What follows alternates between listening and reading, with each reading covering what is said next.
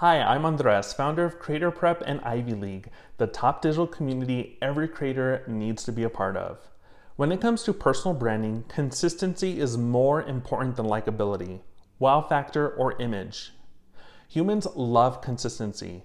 We are hardwired to recognize patterns and sequences, and this helps us to connect ideas, learn, and remember.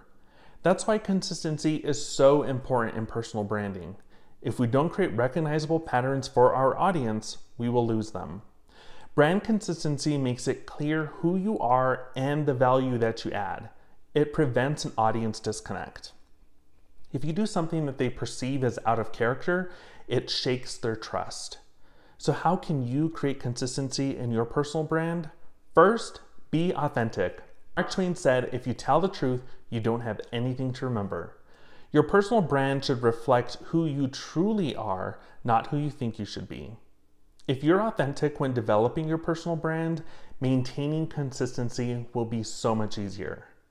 Second, choose your topics wisely. Your words, videos, post stories, and live speaking engagements should always be aligned with your brand's mission and goals.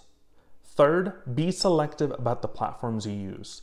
Not all platforms complement your personal brand or meet the needs of your audience, so don't waste time and energy in the wrong places. Number four, make sure your tone and personality are consistent across the platforms you do use. Use the same voice across the board. You can adjust slightly based on the platform or venue, but it should always sound like you. And last but not least, engage with your audience on a regular basis. Consistency also refers to frequency. If your communications are sporadic, this also creates a disconnect. Do you want to know more about using consistency in video to build your personal brand? Check out the free resources in the description below and to learn more about Ivy League, the top digital community every content creator needs to be a part of. I'll see you next time.